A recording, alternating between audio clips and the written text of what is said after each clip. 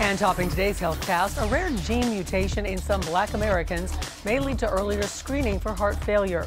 Josh, uh, Dr. Joshua Larned, who's a cardiology specialist with Holy Cross Hospital, says a study of 2,000 African American patients uncovered a genetic variant that could increase the risk of a specific form of heart failure, which is called cardiac amyloidosis. So now we're entering a new era of medicine where it's not just uh, focusing in on an exam with a stethoscope, a blood pressure check. Now we're interested that we're interested in these, this new era where we can use specific genomics or genetics to help us determine special populations within populations of people who might be at enhanced risk of having a problem.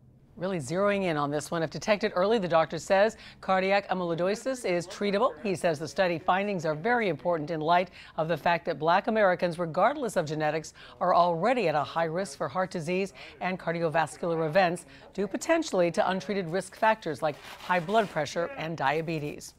And the pandemic's heightened stressors, longer hours, and short staffing without any clear end in sight has led some experts to suggest that the battle with substance abuse has really intensified in the field of nursing.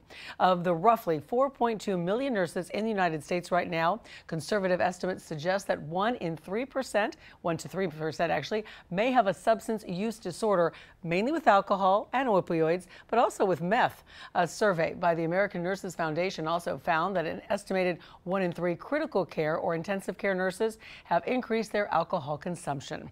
There is currently really no reliable data on the number of nurses whose substance use slid into the realm of a disorder or on how many with an addiction that has been under control relapsed during the pandemic.